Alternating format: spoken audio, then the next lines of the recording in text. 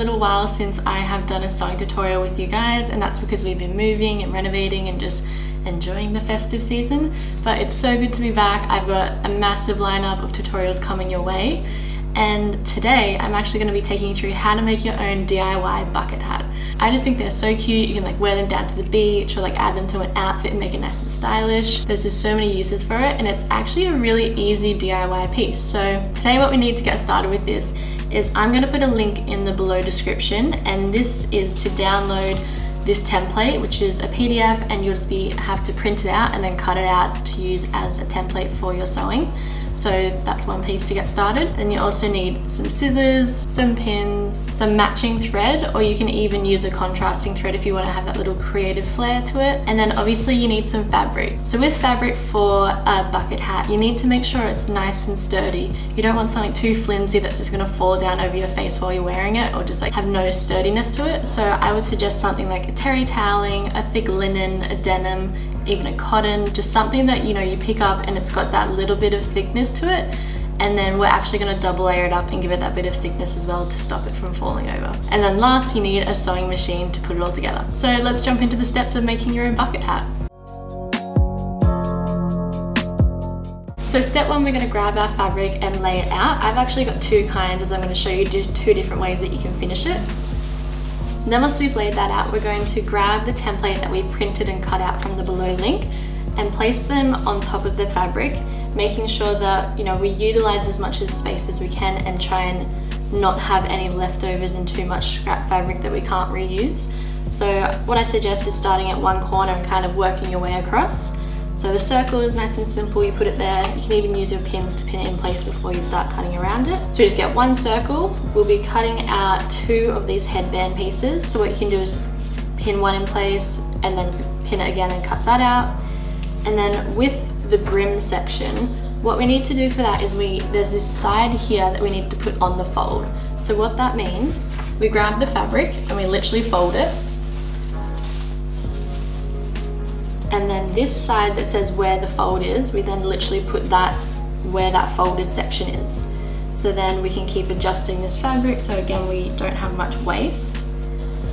And then that fits perfectly from the fold and I'll just cut it there. And then when we cut it out, we've got one piece, but it's just because it's too long to fit on a printed A4 piece of paper, I've just made it so you put it on the fold. Right, so I'm gonna pin that all in place and then start cutting out my pieces and I'll talk you through the next step.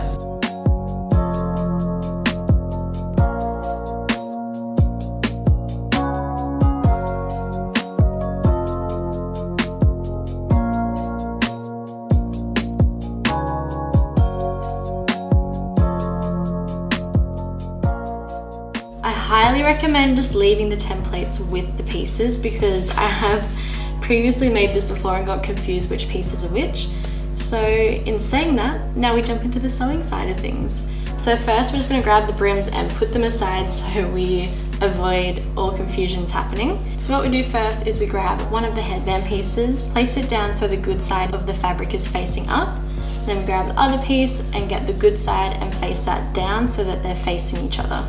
Then we'll just pin up these side pieces sideways there and that's where we sew. So I'm just gonna add those pins in and sew up the sides.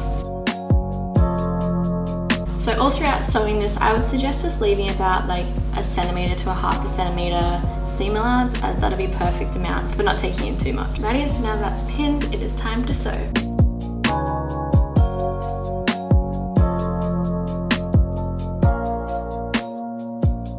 So now that you've sewn down the two side seams, you just flip it so that the good sides are facing out. And there you have your little headpiece for the hat. So now that we have that piece, we're going to actually grab the circle and start matching that up ready to sew it in place. There is a slight angle kind of going up. You want the like the shorter side. So the angle in, you're gonna be starting focusing on that point there. So we'll grab that piece and just like this, as I'm facing it to you, we're going to lay it so that top seam is down on the circle. And we're just gonna pin that in place first up. So now that we've got that first piece in place, then just start moving the fabric around the edge and pinning it in place and just making sure that we have enough fabric to go around the whole circle. So the good sides of the fabric is facing of the circle and the headband for this. And we just keep going around and pinning it in place. Hopefully if we've cut that out and measured it all right, it should fit perfectly. If for some reason it doesn't and the headband, you have too much of that compared to the circle, you just need to take in the side seams a little bit so that the full circumference of the circle matches the circle of the top of the hat. And if the circle is too big and the headband piece is a little bit smaller, just shuffle it all in a little bit from the side seam of the circle and therefore it'll take up a little bit less of the circle. I hope that makes sense, but hopefully with the patterns that I gave you, it all should match up. Mine matches up, so hopefully we just cut it right. As you can see, it just kind of looks like a weird bunched up thing where all the inside of the brim is there and you flip it around and the circle is just nice and clean. And what we'll do is we're literally just gonna sew around that area that we pinned in place. So then once we've sewn around that area, we end up flipping it and this will be a little preview of what it will look like. And all the good sides will be showing like that. And we've got like a little kind of weird chef's hat. So I'll flip that back around sew it in place so the circle is attaching to the headband piece and I'll show you how it turns out.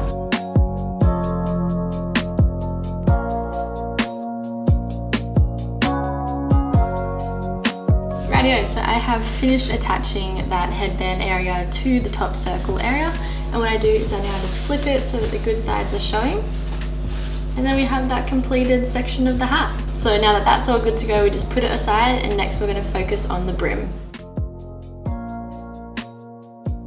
So for this we have cut out four pieces. So we're going to pair up two pieces at a time. So again, we're just going to lay one down with the good side facing up. And then we grab the other piece and lay the good side down so that they are facing each other. So I'll do that for both sections. So once we've laid them all down and aligned them, so obviously that it angles out and we're just going to focus on the large bottom area. We're just going to pin that in place and just sew a straight line across there for each of them and then I'll show you what to do next. Now that that is all pinned in place, we're just going to sew across there and then fold them so the good sides are facing out.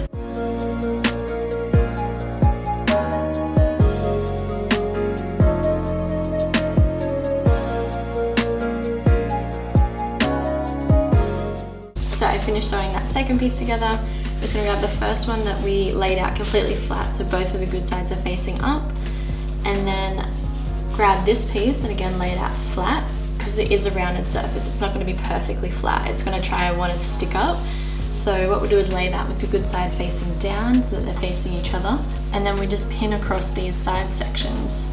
So at the moment you're probably like, what is she doing? This is some weird like flat area. How does this turn into the brim?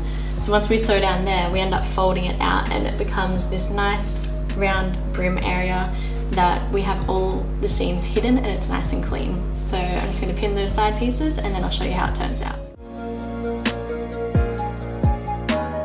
Rightio, so I have finished sewing down those side areas and what we do now is we fold it inside out, well technically good side out, and then we can kind of like start to see the brim forming. So it's like a circular piece and all the seams are nice and hidden away. So obviously at the moment it's a bit like it keeps moving, it's a bit flimsy. So what we'll do from here is if you have an iron, this is where you can iron it flat and get it all nice and sturdy, but get the edges where that side seam is and make sure it's nice and like tight there. And then just keep sewing a line all the way around the circle, about a centimeter in from the edge. Follow that a centimeter in, in, in until you fill up the whole area and that will keep it nice and sturdy, tight together. It won't flop around too much and you'll be surprised when you start adding those lines how much strength it gives to these two pieces of material so that it'll stay up like a brim and not just fall down like a random piece of fabric. So I'm going to start doing that. If you're not confident with leaving an equal amount of space between each line, uh, this is where you could like grab a bit of chalk and measure out the centimeter space. Otherwise just go by eye or use the markings on the machine. But I'm just going to go for it and start sewing little centimeter lines in and around the circle.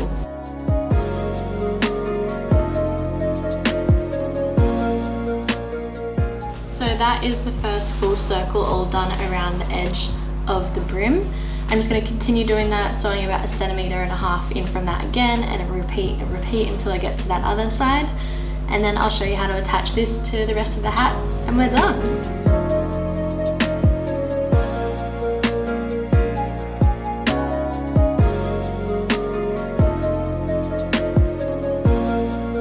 So I finished sewing three of these lines. I'm gonna keep going until I get to the other side but I thought I'd point out, so if you do have a bit of a thicker fabric, you can end up having a bit of a play with these and maybe just add like one or two on the edge and leave the rest open or like even do zigzags or change the colors of the threads. It's a bit of like creative fun. Once you've made one, you can keep evolving it from there.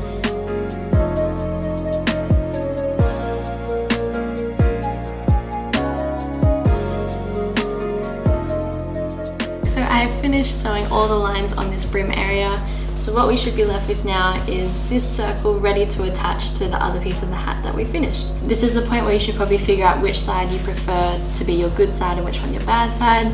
So I'm going to have my good side facing up and I'm going to grab the inside area. I like to start at where the seam is. So I'll grab that and I'm just going to grab the good side of this hat. This inner section where the seam starts meets that inner section where the seam starts and folds up like that. So what you do is you end up pinning it so that the hat and the brim kind of sit like that. So it looks like a bit of a sailor hat from that side and you're just aligning the good sides of the hat and the brim. And then again, just start from that seam, pin the whole way around, make sure it matches and if it doesn't, make any adjustments if need be. So I'll pin mine and I'll show you how that turns out. When I was pinning it in place, I actually found out that the headband area is quite a bit bigger than the brim. So all I did was I just unpinned it where the headband seam is and I just took it in a little bit so now the circumference matches perfectly. So that's what I mean, like if anything doesn't match up, just pin it in place, double check it that it all matches before you sew, and if it doesn't, just make the adjustments where need be. Right here, I'm just gonna sew around there, and then I've completed the hat.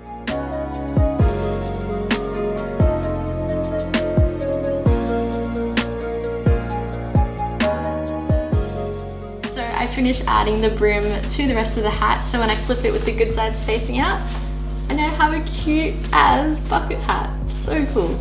Obviously I'm going to try it on now, make sure everything fits well, all the portions are nice and when I'm happy with that I'm going to go back through, turn it inside out and just kind of zigzag all the edges so they don't fray. Obviously if you have an overlocker this is where you can use that. I'm actually going to make a second one and I'll show you how that one turns out and I'm going to leave these edges frayed but I thought taking through the steps of making this is just a basic way and you can evolve and make things differently. This one is obviously just single-sided on the inside but if you wanted to make a double-sided one where the fabrics are different so therefore you have two different bucket hats in the one you would essentially just make two and kind of join them together, which I have done before, but I feel like this is just an easy intro into making a bucket hat. Let's try it on.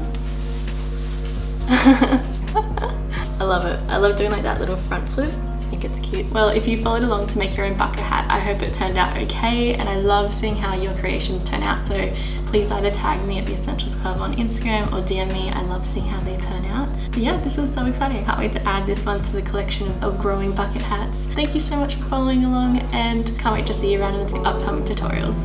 Thanks.